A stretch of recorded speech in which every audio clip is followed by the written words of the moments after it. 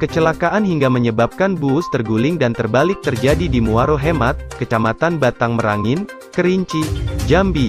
Meski tak ada korban jiwa, sebanyak tiga orang anggota BRIMOB mengalami luka berat dalam kejadian tersebut. Kasat Reskrim Polres Kerinci Edi Mardi menjelaskan, bus tersebut membawa 33 anggota Satuan BRIMOB Polda Sumsel.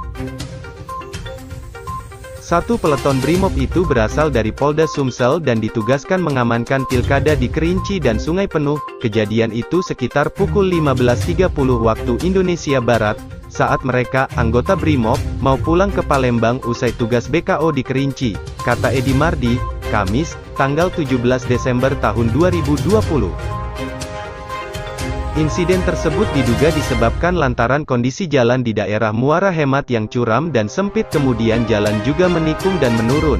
Hal ini diperkirakan membuat bus tak terkendali, terguling dan terbalik, ya terguling di Muaro Hemat, kondisi jalan menurun dan ada tikungan, mobil jadi tidak terkendali, tutur Edi Mardi. Tak ada korban jiwa dalam insiden itu. Namun, tiga orang anggota BRIMOB mengalami luka berat, sedangkan beberapa orang mengalami luka ringan. Pertolongan pertama dilakukan di Puskesmas Muaro Hemat, sedangkan personel yang luka menjalani perawatan di RSMH Talib, Kota Sungai Penuh. Semua personel kembali lagi ke Kerinci dan belum pulang ke Palembang.